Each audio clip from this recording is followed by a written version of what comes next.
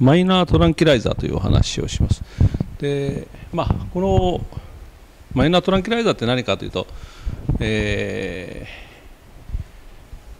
ー、抗不安剤だと思っていただけるといいですね、えー、不安を取るお薬。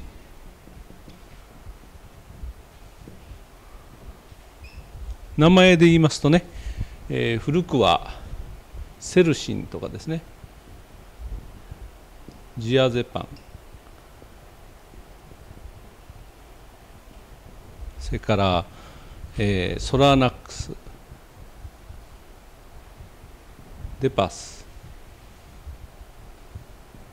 からああとワイパックス。まああの同じせせ、えー、ものですけども商品名の違うものはいっぱいありますね。ワイパックスだとユーパンとかですね。それからあとレキソタン、まあ、などなどこういう会社のが違うものを全部挙げるといくつになるんでしょう。数えたことがないです。で数えきれないぐらい はないですけど本当にそれぐらいたくさん出ています。でこの、まあ、マイナートランキュライザーっていうのはですね、えー、あのまあ、ここの病院ではいまだ現役です。いまだ現役でいま、えー、だ主流です。不安の治療に関してはね。でこのマイナートランキライザー最近ではですね、えー、まあ、新聞とかあなどなどあまり使わない方がいいんだというキャンペーンといいますかねそういうものが盛んに行われています。でまあそれ何故かというと依存になるからだという依存性があると。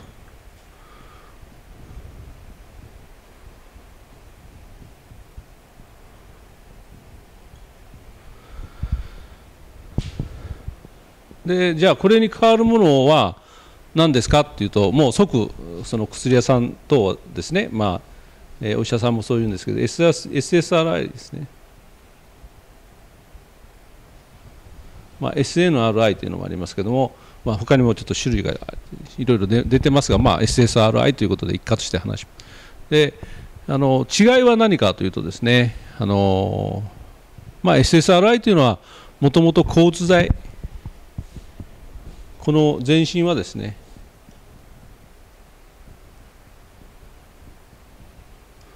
例えば SSRI のパキシルってなりますよね。でこれはあのアナフラニール、まあ、交通剤の中のアナフラニールと言われるものをにできるだけ近いような薬効を示すようなものを開発したんでね。でパキシルというのは出来上がりました。で今はあの不安なんかに関してまず最初に出るのはこういうパキシルとか J ゾロフトとかそういうこういう類のものですね。でそれが主流です。で今までのこういうセルシンとかジアゼパンとかメイラックスとかデパスとかソラナックスですね。そういうものはあの、まあ、できるだけ使わないようなあの方がいいのではないかという流れがついています。えー、なんでそういう流れになっちゃったのか、えー、パキシルの方が不安にとって大変よくてですね患者さんが側から大いに喜ばれているからかというとですねどうも決してそうでもないです。でまあ、我々こう臨床ね長くやってる側からすると切れ味はこの抗不安剤こちらの方がはるかにいいと思いますで切れ味もいいし治療の計画も立てやすい薬ですね。で、まあ、従来はこれを使ってみてダメなケースは、まあ、あのアナフラニールを使ってみると、まあ、確かに、えー、よく効いたケースもあるし逆に眠気だるさ副作用がいっぱい出て使えないケースもあると。それからあのあんまり効果のないのもあると。いうことであのまあ例えば不安障害を持った人例えばですね、えー、パニック障害の人の治療をしようとしたときですね、えー、どれを中心に使った方がまあ完全に治療が薬が切れて終えるかというと僕はあ完璧にこちらに軍配が上がると思っています。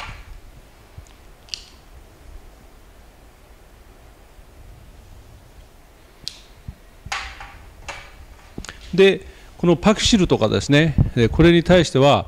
あの依存性がないというふうに薬屋さんは言っています、えー、こちらの依存性が大変問題であると。マイナートランキライザーのね。それ、まあ、ベンゾジアズピン系っていうんですけどそれゆえにこういうパキシル等の SSRI を使った方がよろしいと。こちらには依存がないからみたいなことを暗に言ってるんですね、えーまあ、ところがですねあの実際はそうでもないです。パキシル、まあ、40ミリぐらいまで使った人、まあ、そんなに使わなくていいんですがこれ順番にこう落としていくわけですね。急にゼロにするとまあ、あの知覚過敏が出たりもうさわさわそわそわ落ち着かなくなったりですね。大変な副作用が出ますから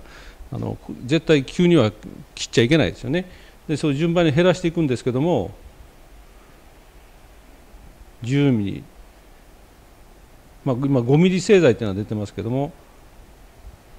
ところがですねこの20ミリから10ミリに落とすとか20ミリから15ミリにするとかというふうにしてたった5ミリを落とすだけでもですねすごい不安が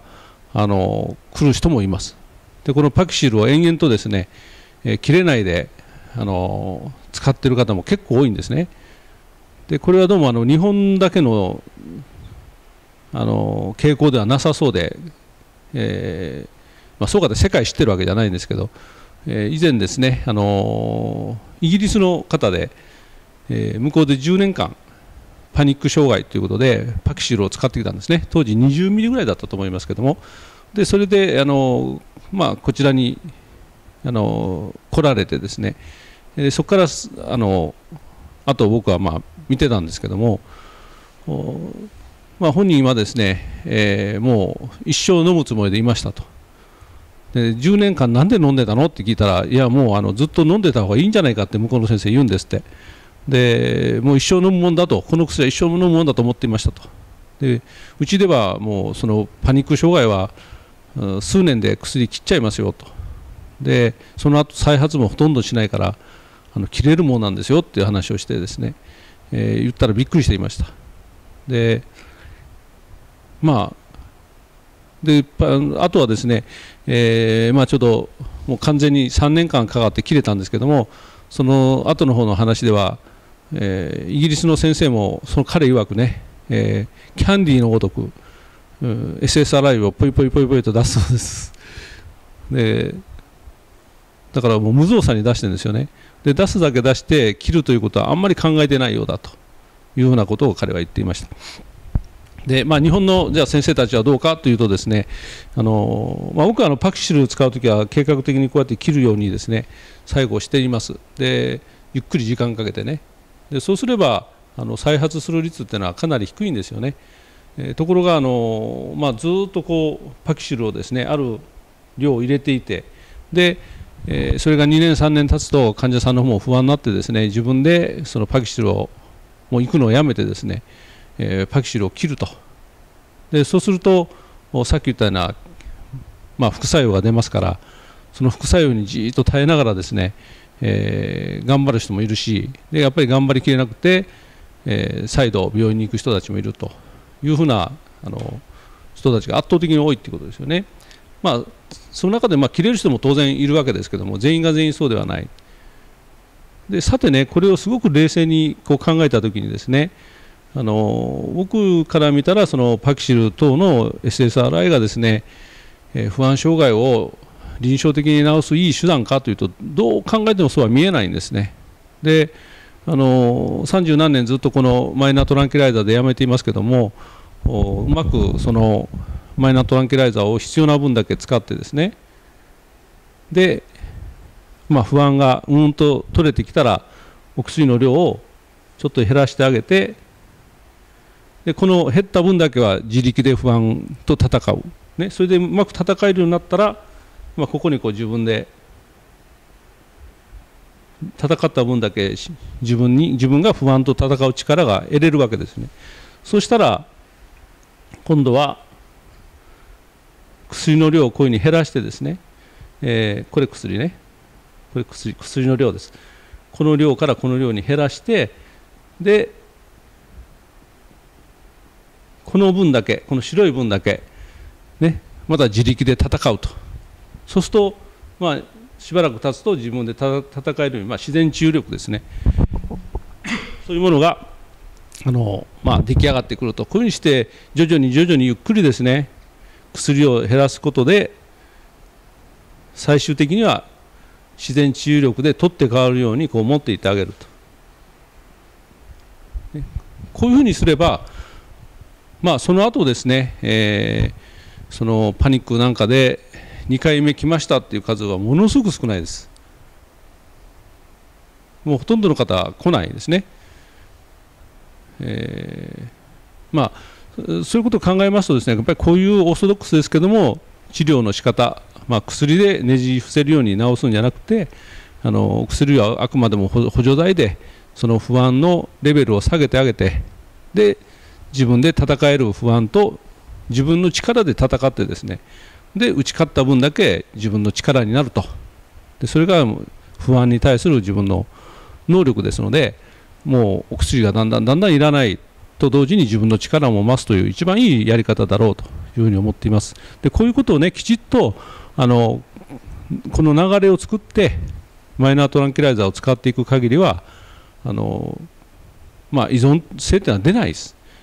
でただここで今ね説明するときに依存性という2つに分けなきゃいけないんですけどもその薬理的にアルコール依存症とかそういうもののようにですね、えー、連続10年使っていると依存性ができるかというとですね、えー、原則はまずできないと思っていいです。で薬理的に依存ができる人の場合は耐性といってですね、えー、同じ量じゃ効かなくなるんですね。ちょっとお酒のお酒と一緒です。例えばお酒で2合でほろ酔いになってた人が、ね、10年飲んだら2合じゃほろ酔いにならない。3合4合5合一生飲んでもほろ酔いになれない。というぐらい要するに薬が効かないです。それからあとは頭痛薬の依存もありますよね。でナロンエースだとかいろんな市販のお薬もありますけどあれを1粒で治ってた人が頭痛が治ってた人が2つ飲んでも3つ飲んでも治らない。でそういう時は耐性ができたらですね5個とか10個とか飲むんです。それでも治らない人もいると。こういうのは薬剤の耐性と言います。じゃあこのマイナートランキライザー例えばデバスをですねあのまあ1ミリ1錠じゃ効かないからといって今言ったみたいに10錠20錠飲む人いますか？っていうとですねいません。いる場合もあります。これはオーバードースで自傷とかですね、まあ、そういう傾向を持った人がやること行為であってですね効かないからといって常時ですね。毎日10錠のデパスを飲みますかというと基本的にはこういう人はいません。まあこういう人がね実際あの臨床の中でたくさんの先生が見てですねで依存性があるぞというなら僕も納得するんですけども僕もあのこのマイナートランキライザー使ってきた医者なんですけども実際にそういうマイナートランキライザーだけでこういうのをできた人は経験が一例もないです。で経験ないのかというとですね実は3例あります。でデパスを1ミリを1日10錠20錠飲んだ人います。でこれはもともとアルコール依存症があってですねあのまあこういうのは交差交差の交差体制といいますかね。あの要するにアルコール依存症でその薬物中毒を作るとお酒が効かなくなると同時に他の薬剤も効かなくなる。つまりデパスも効かなくなるというタイプなんです。で合計3例持っています。でそういう人は10錠20錠飲みましたね。でもお酒絡みでない限りは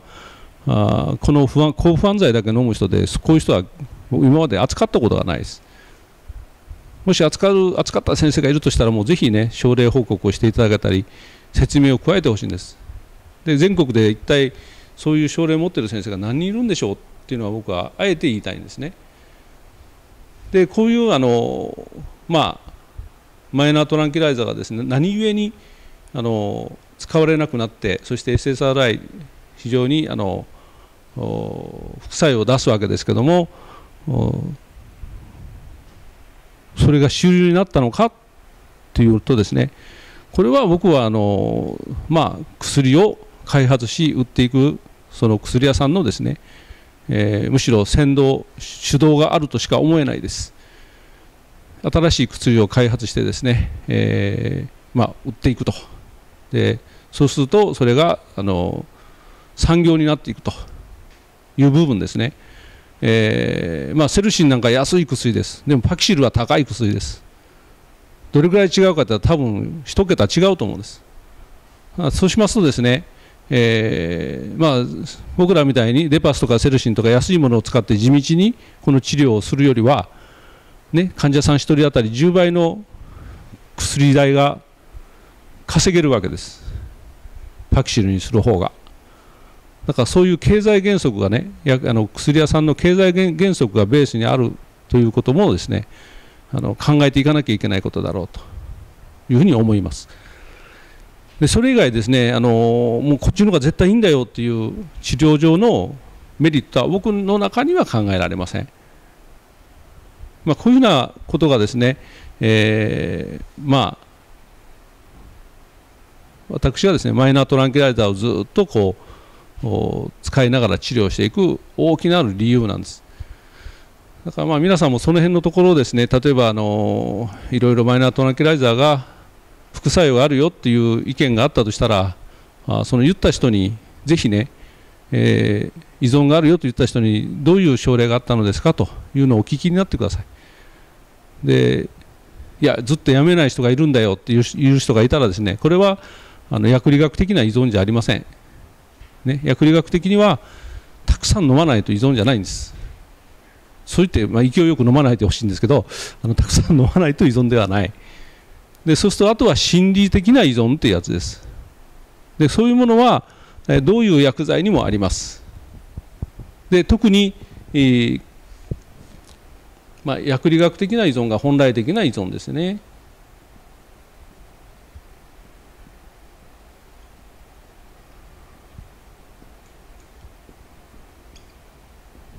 でこれはですね僕はないと思います。ただ心理的な依存っていうのはあります。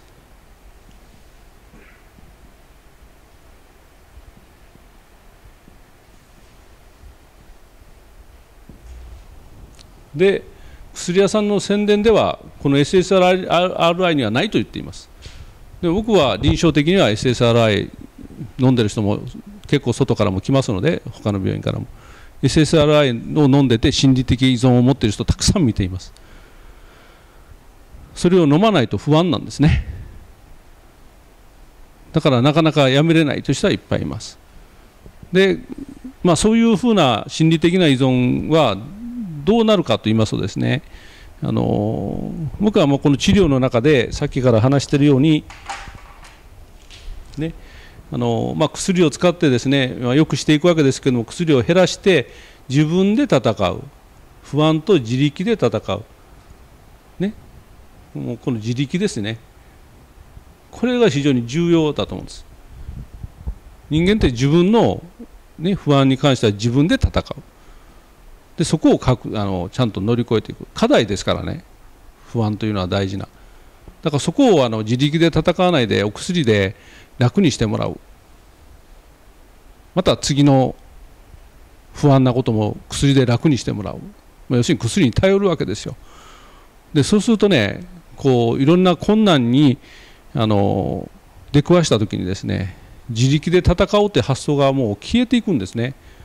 で何とかしてほしいっていうまあ子供状態赤ちゃん状態です。だからこのあの薬物をいっぱい飲んでるとですねえー、自力で戦わないで何とかしてくださいっていうこう依存的な部分人への依存性とかね、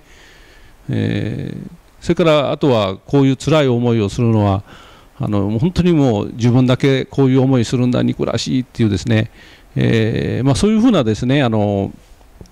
思いで、まあ、周りの人は助けてくれない人に対して恨みが出たりですね、えー、世の中への恨みが強くなったりあの自分問題として捉えないで周りのせいにしたり、そういうふうな傾向があります。で中にはあの、まあ、子供返りしてしまったりですねもともと精神的には強い部分を持っている人なんですけどもこの薬ばっかり飲んで心理的な依存が強まるとですね、えー、まあ、今まで頑張ってきた自分なりに頑張ってきた部分がだんだんと薄れていってですねえー、ちょうど、まあ、小小学生、中学生高、校生ぐらいというのはあの依存的ですよね、人に対してね、ちょっとその辺のレベルにまで自分が戻ってしまう、こういうのは対抗と言いますけど、でそういう症状も出ます。で対抗が出てくると、立てなくなったり、目が見えなくなったり、歩けなくなったり、うん、口が聞けなくなったりとそういうふうなあの反応まで起こす人も何例も見てきています。でそういう人たちからあのこのマイナートランキライザーをですねやめましょうということであのよく説明して徐々に徐々に抜いていくとですね、えー、もうその段階ではなんかこう人格障害だとかね、えー、プレプレマチュアというかあの未熟性の性格だとか、えー、そういうふうにいろんなところで言われてきた人がですねマイナートランキライザーをやめるとしっかりしてきましてねあこういう人格の人だったんだなっていうふうに元に戻るなんていうそういう例もまあ10例20例もっとでしょうかね。大勢見てますのでそのマイナートランキライザーによる心理的な依存ができて生きづらくなっている人っていうのは確かにそれはいるのででそこはやっぱり頼らないでやめてですねあの治療すべきそういう人はいるわけです、まあ、そういうことはね区別していかなきゃいけないだろうと。でそれをそういうふうに考えるともうパキシルを飲んでる人でも、ね、同じような症状を持った人はたくさんいるわけですパキシルに頼っている人たちまあ、そういうことを今日ちょっとお話ししました。で、だから一番大事なのはね、マイナートランキライザーがいいのか、パキあの SSRI がいいのかという以前にですね、基本的なあの不安との戦い方です。で、不安は自分の力で戦って打ち勝つものであるということをですね、あの再度話しておきたいです。で、ただあの強い不安ね、そういうものとは立ち向かえないから、それをお薬で少し削り落としてですね、使える形に戦える形にまで不安を和らげてあげてですねで戦ってみると、まあ、そういう補助的な作用がねこの薬の役割だろうというふうに考えています。まあ、今日はちょっとそういうあのマイナートランキライザーということを中心に、えー、捉えてみました。だから、まあ、マイナートランキライザーを恐れるにあたあの恐れるべき薬ではないということただしその漫然とですねあの治療の計画もなしに使う薬ではないなんかきちっとあのゴール、ね、減らしていって抜いていくってゴールをいつも持ってた方がいいですよっていうことが大事なことだと思います。ということで終わりにしたいと思います。